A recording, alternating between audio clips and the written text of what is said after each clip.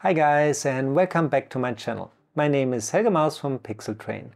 And for everyone who doesn't know me, I'm a 3D and visual effects trainer and artist for more than 20 years now. Today's lesson is a demo lesson from my newest publication Pixel Train Blender Fundamentals Fast Forward. This publication is a full introduction into Blender, its workflows and tools for beginners and artists from other 3D applications.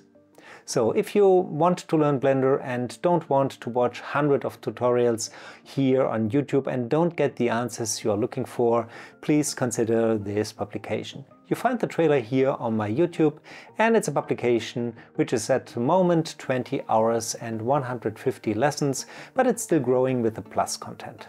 But now let's get into the lesson. If you have any questions, please comment below. And if you like this kind of tutorials, please subscribe, give me a thumbs up. But now let's get started. Have fun, your Helge Maus.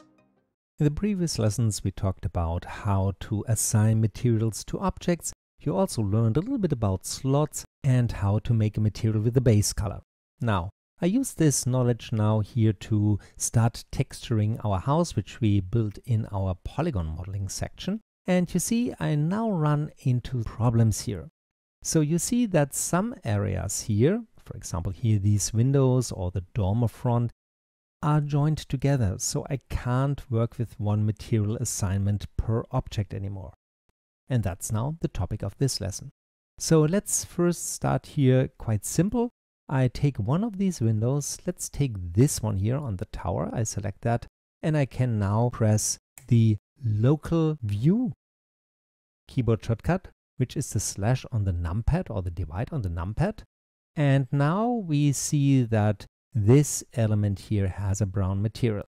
And I explained to you that the first slot gets all the mesh data. So materials are assigned always to faces and by default all the faces are assigned then to the first slot. So what we now want to do is we want to have a second slot. So click here to make a new slot here and you see we can now place a new material in it. Let's do that here. I click here new and we say this is our window material for an abstract window. But nothing changes here. So let's say we have a base color only to make this a little bit more visible.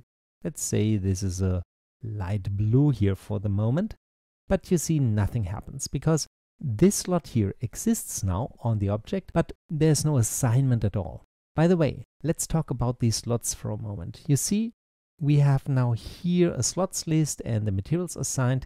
In the shader editor, we also have a slot list.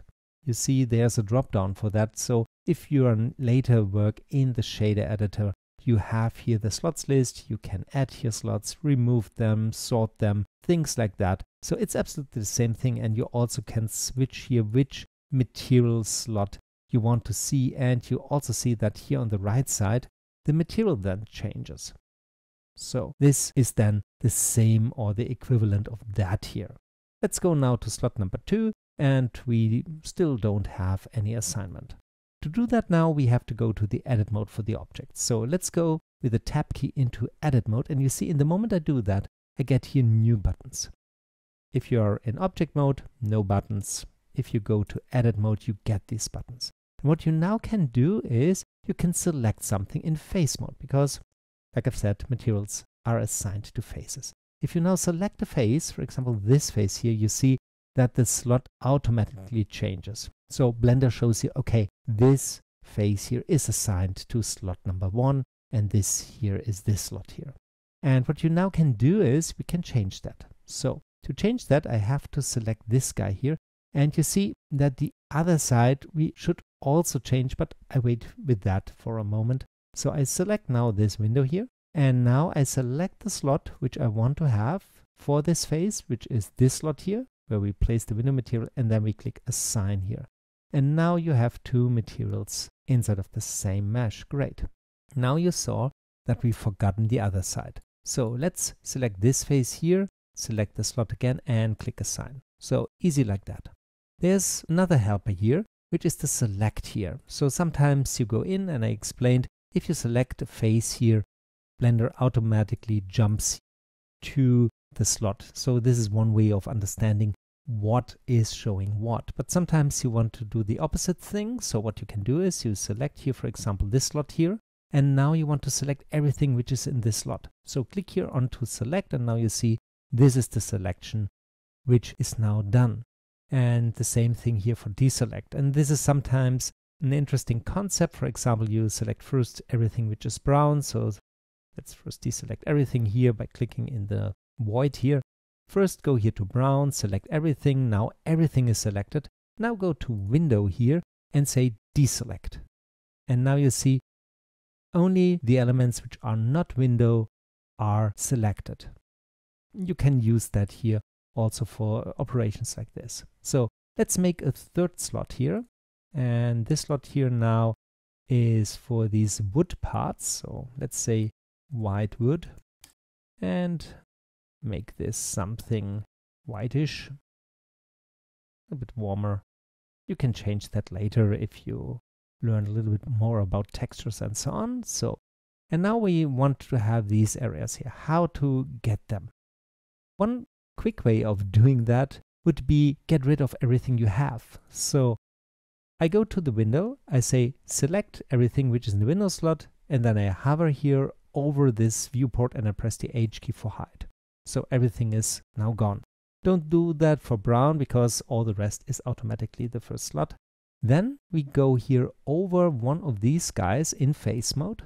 And now I want to select everything which is connected to that. And this is the L key. Remember, L like selected, linked. And now we have the whole thing. I hover here over the next one, press the L key, and now we do the same thing also for the back, L key and L key. And if you want to check if everything is right, go to the white wood and assign it. And now you see it's okay. If you now find by accident that something is wrong, for example, you selected also this here and assign it, let's do it again, select this here, assign it to white, and now you see, oh, I want to get rid of that, what you can do here, and that's quite simple. Let's go in here. I don't think that this was assigned correctly. Now it's assigned. How to do that? You select the wrong one here, and then you select the right slot just brown and say assign. So you can switch it all the time. So this looks good for me. I think this is done. So let's get back the rest, Alt H, and now we have something like that here. Now let's go out of the edit mode and press the slash or the divide key on the numpad to get the whole house back here. So that's now the way we are working here. And I give you later a little bit of time to do that here with the house. Let's try one more. For example, the door here. I select the door. I go for convenience here into the local mode and then I dive into that and now we work a little bit faster.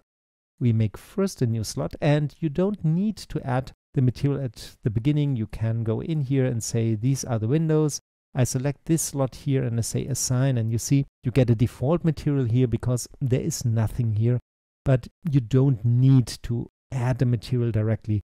It's working because a slot is a slot. But what I do now here, I open here now the list for this slot and we say this is window. Here we go. And if you want, I think it would look nice if we have here the inner world. Let's press the L key. Wonderful.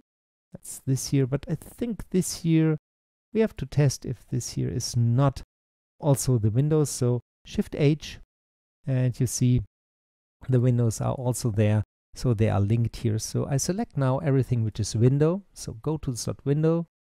First deselect everything. And then we click select. Then press the H key again to get rid of the windows here. And now I want that this here all gets new material. So how to do that? I select everything with the A key, press plus here, and now we assign everything to this slot here, and then we look into a list. I think white wood would be good. And then let's bring everything back here, deselect, and now you see you have made your assignments here, go out, slash on the numpad, and now we have these materials. So I think that's enough about this here. So have fun with the rest, and we see each other in the next lesson.